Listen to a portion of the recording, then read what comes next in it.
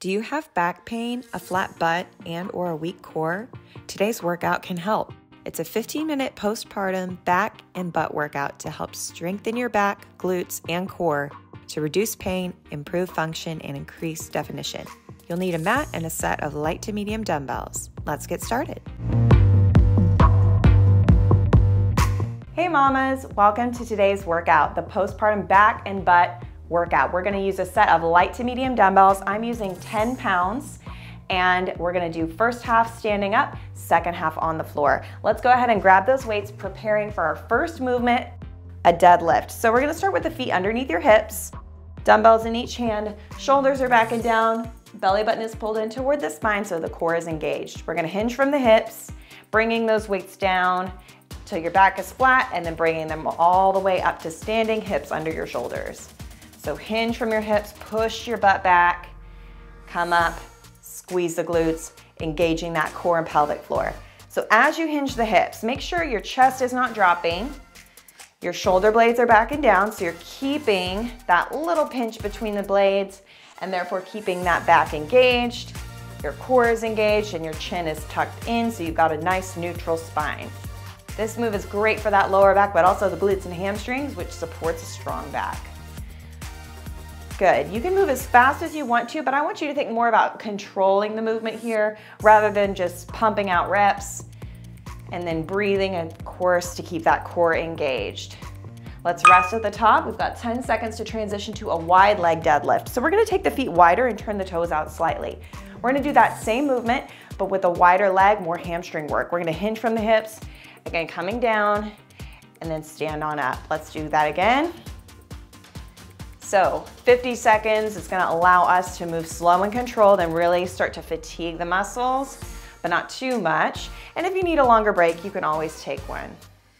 Same thing here, that tendency is gonna be to want to round that upper spine.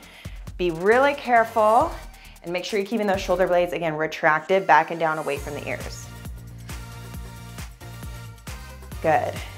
And we wanna make sure at the top as well, we're not overextending here into the back. We wanna keep the glutes neutral but engaged. So I'll show you what I mean right here rather than here. That's gonna take that pressure, keep it in your glutes, and that's what we wanna focus on strengthening at the top, rest. All right, we're gonna move on to a single leg deadlift. So take one leg, step back. I'm gonna show you two variations, modified and then advanced. So we're gonna start with that beginner variation, hinge from the hip, back comes down flat, stand up. So you're in a little kickstand position. Both feet are down, the front heel is up, and you're hinging. Here's the advanced variation. You're gonna take that back leg off the floor and then place it back down. So either way, you're hinging forward, you're keeping that nice straight back and you're pushing your hips back, keeping everything square to the floor. Long straight spine, arms are straight. And if you're doing that advanced variation, again, that leg, it's gonna add a little balance challenge. That toe is pointed toward the floor. You're leading with that heel. Your back leg does not have to be perfectly straight and you want a little bend in that front knee so you're not locking out the leg. Let's rest here. We're gonna do that same thing other side. So reset, find that kickstand position.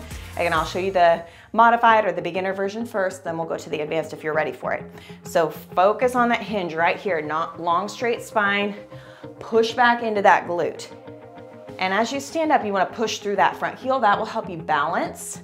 Think all four corners of your foot. So big toe, side of the foot, and the heel are pushing down. Let's add in that leg lift if you can. Full single leg deadlift. Might feel easier to balance on one side than the other, and that's totally normal.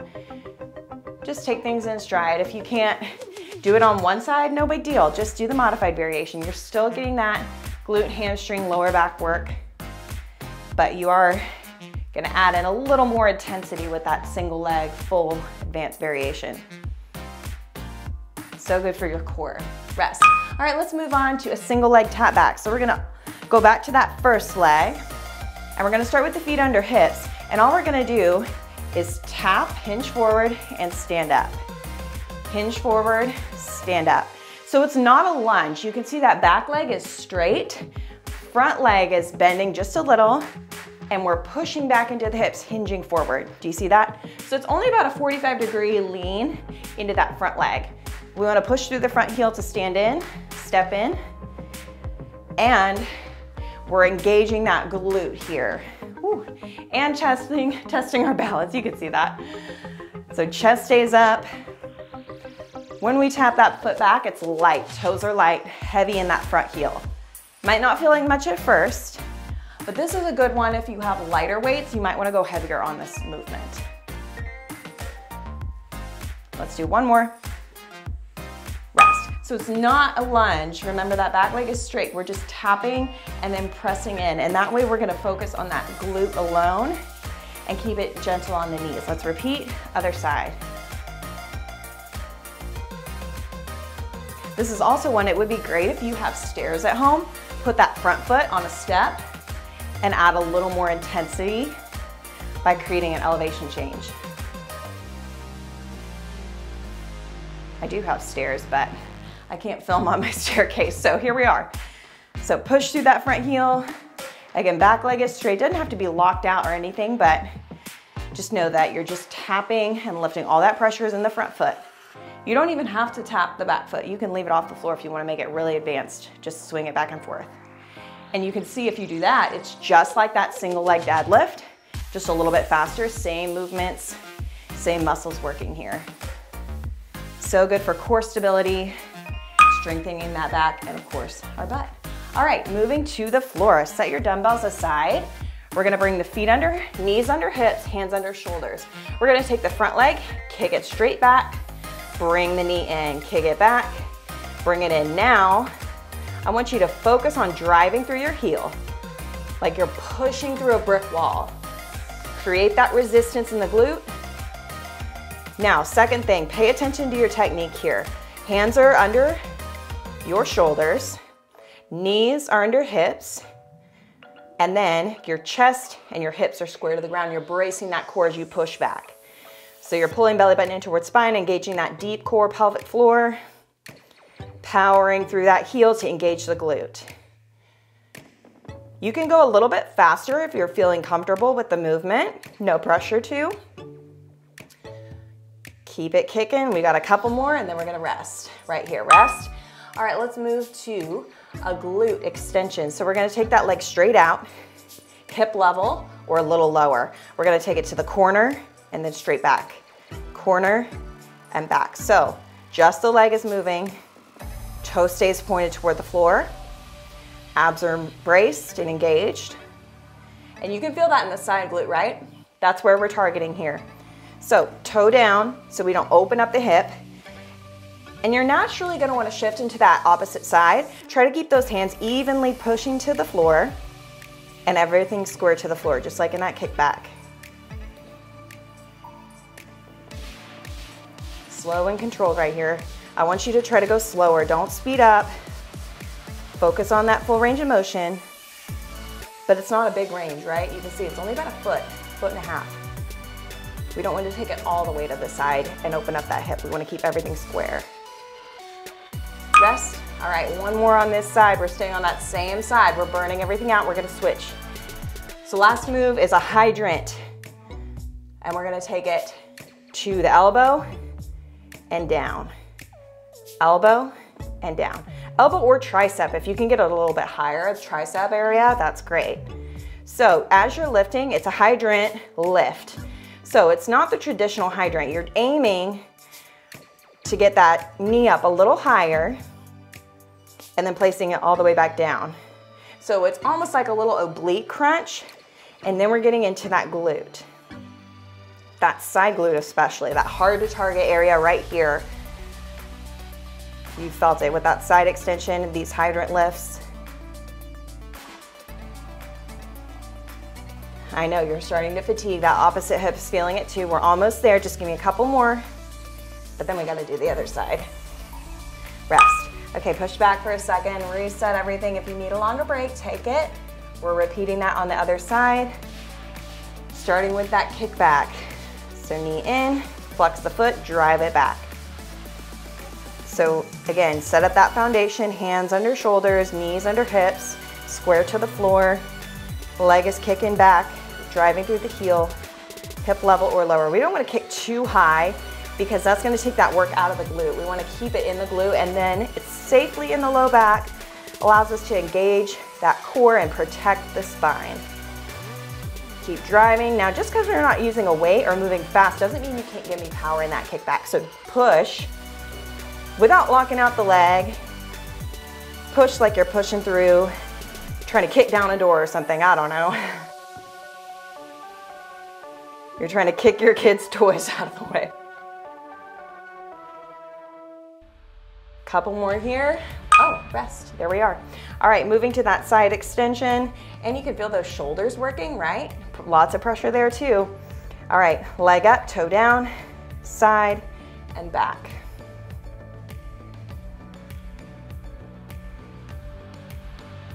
Slow and controlled here. If you're going fast on those kickbacks, try to slow down here. Really feel that burn accumulate in that side glute. Pushing evenly through the hands.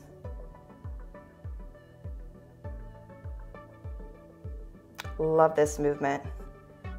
It's amazing how effective things like this can be, even when you're not going fast, even with no equipment.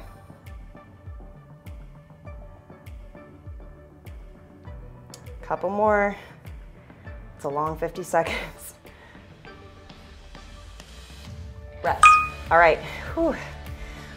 One more, the hydrant left. So reset everything square to the floor again, and we're gonna move that knee to the elbow and down. So just lift, pull that knee in. Now, we're aiming for the elbow or tricep if you can get it there. But if that's too difficult, or if you're starting to collapse into that opposite side, reset everything, reduce the range a little bit.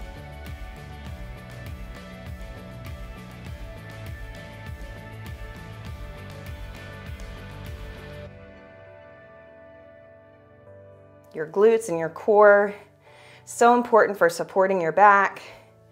Everything works together. So we got to strengthen the back, the butt, the core, all as a unit, especially when we're putting so much demand on it during pregnancy and postpartum life. It needs some love. All right, shift back. We're gonna come onto our bellies for this last set. It's a prone airplane. So hands wide, palms down, legs together, toes pointed. We're gonna lift the front leg and the back arm, shifting, looking toward that arm, and then come down opposite side. So looking toward the hand, but keeping your chin tucked. Leg is straight as you lift, squeeze your butt, and then arm is straight. You're trying to get your chest off the floor without craning your neck. So keep that chin tucked. You can use that opposite hand to push out of the floor and lift higher. If you're feeling good, take it higher, take the leg higher. If you want a little more intensity, opposite arm can keep hovering above the floor.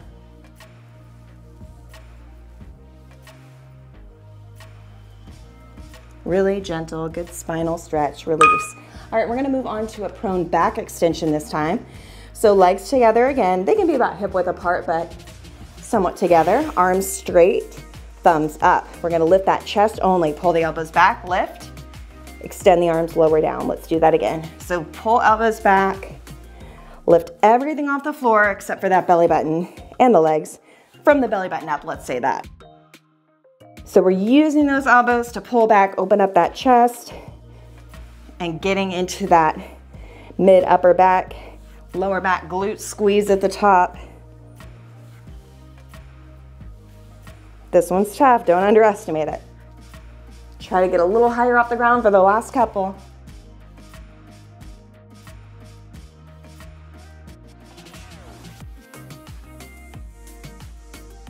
One more, let's do it. Nice. All right, last movement. We're gonna do a bent knee, glute hamstring lift. So you're gonna take your hands, lay down on them. You can look toward the floor. Heels together, knees bent, knees wide. We're gonna push up and down just the legs. Up and down. So you're driving through those heels, trying to get your knees and your thighs off the floor. And you're just, try to relax your upper body.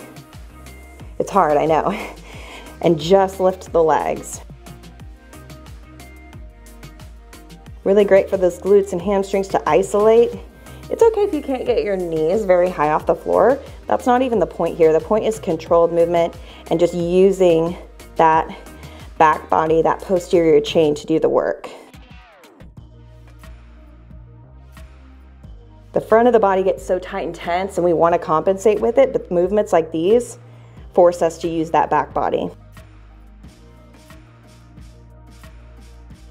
And we're done. Good work, you guys. Shift back into a child's pose. Release that back just a minute. Take a stretch if you need. Check out one of my postpartum deep stretch workouts to relieve even more of that tension in the low back, glutes, and hips.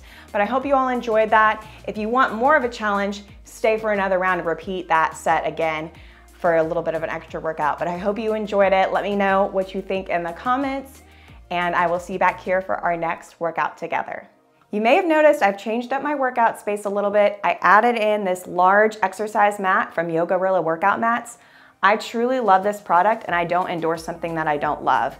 It's made with premium materials, so I don't have to worry about damaging my hardwood floors. Also, you can see it's quite a bit larger than the standard yoga mat, so it allows for bigger movements and more space. Again, when you're working out with dumbbells, you're doing HIIT, even with my core exercises, I love it because I don't have to worry about my back hurting as I work out on my hardwood floors, and I don't have to worry about damaging my floors either.